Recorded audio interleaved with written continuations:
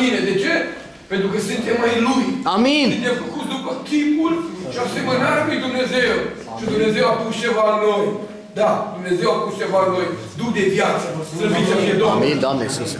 Păi așa e minunat Pavel în 17, în Faptele Apostolilor, că în El avem viața, Și mișcare. ființa și mișcarea. Amin. Glorie ție, Sunteți Iisuse. neamul lui Dumnezeu. Amin. Glorie, Glorie Domnului. ție, Iisuse. De aceea, haideți să lăudăm, să binecuvântăm, să dăm de laudă spre slava Domnului. Domnul să binecuvânteze pe fratele Mihai dacă să ne vorbească din cuvântul Domnului un mesaj. Tot ceea ce facem, să facem spre slava Domnului. Amin. Amin, Doamne Iisuse.